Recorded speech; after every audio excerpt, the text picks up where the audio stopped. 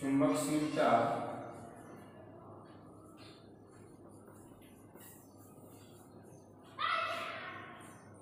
Mu zero तथा वैद्युतशीलता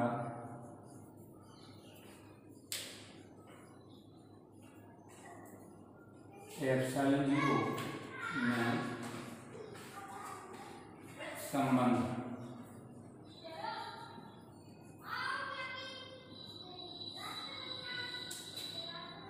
mu zero equal to होता है four pi into ten power minus seven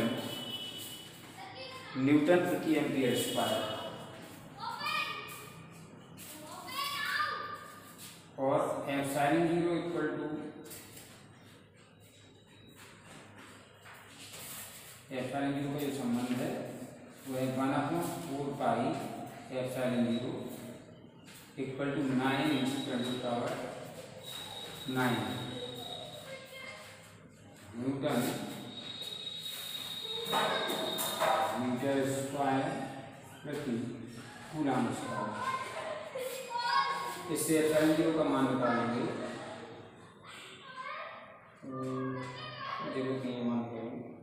सीधा सीधा इक्वेशन वन और टू मान पर भाग दे देंगे।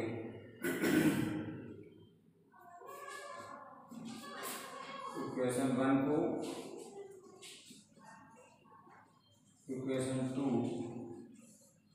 से भाग देने पर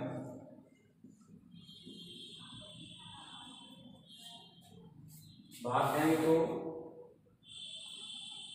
mu zero upon one upon four pi epsilon zero equal to होगा। Four pi into ten power minus seven upon nine into ten की पावर नाइन।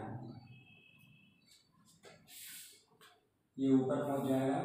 तो four pi epsilon zero mu zero equal to four pi ten power minus seven two nine into ten power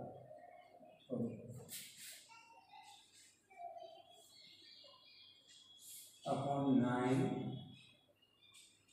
into ten की power minus nine four five four five cancel mu zero into epsilon zero की value प्राप्त होगी। ये ten की power minus sixteen हो गया तो नीचे ले जाएँगे one upon nine into ten की पावर सिक्सटीन इसको हम लिख सकते हैं one upon three into ten की पावर एट स्क्वायर क्योंकि थ्री इंटू टेन की पावर एट प्रकाश का वेग वेलोसिटी ऑफ़ लाइट होता है। इसके पर हम सी लिख सकते हैं।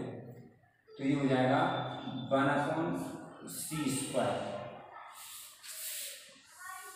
इसका मतलब है mu zero epsilon zero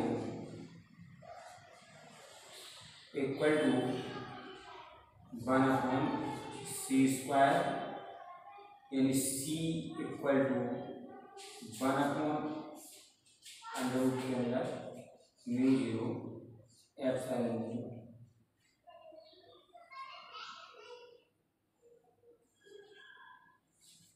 ये म्यू ज़ीरो और एफ़ आर एन ज़ीरो में संबंध है।